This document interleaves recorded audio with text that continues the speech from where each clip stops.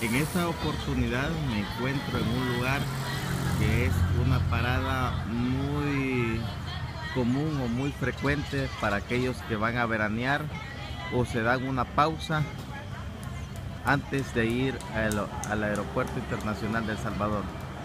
Nos referimos a los pupusódromos o al pupusódromo de Olocuilta, muy famoso por sus pupusas de arroz y sus diferentes variedades.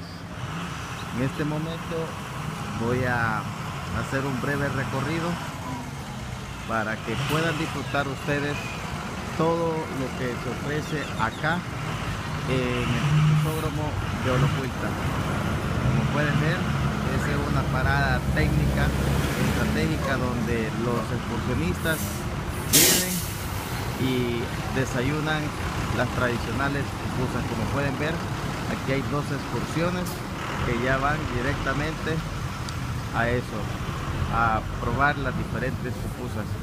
Así que vamos a aprovechar, momento dado, eh, todas las las diferentes pupuserías que aquí se encuentran pueden ver pueden pedir sus buenos días ¿cómo son las pupusas? ¿De qué, es, de qué tienen? solo de esas dos. Bueno, muchas gracias. Vamos a seguir por acá. Podemos ver aquí hay más pupuserías. Donde pueden cualquier visitante puede elegir la calidad y de cosas que desee ah, esto es al gusto del cliente verdad podemos ver acá todas las que son son las pucerías que hay acá Buenos días.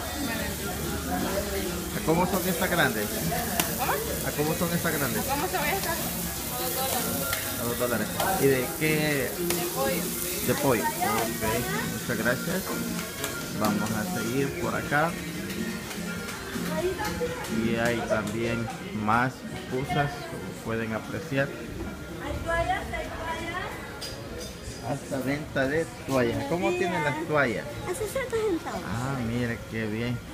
Lástima que ahorita no andamos, pero le deseo éxito, oiga. Feliz día y bendiciones.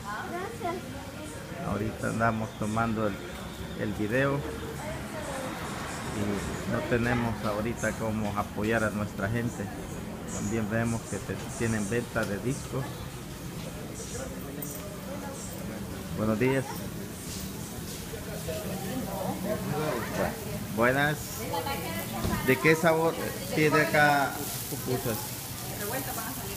Solo revueltitas, ok. Pueden ver acá ya hice un breve recorrido por todas las pizzerías que hay acá.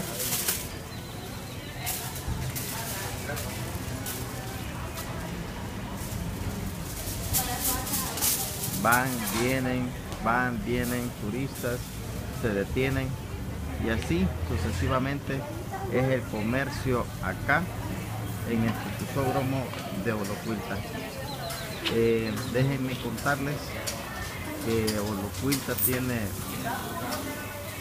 eh, la tradición y la referencia de las pupusas de arroz, pero también pueden eh, probar otra alternativa de pupusas que son hechas en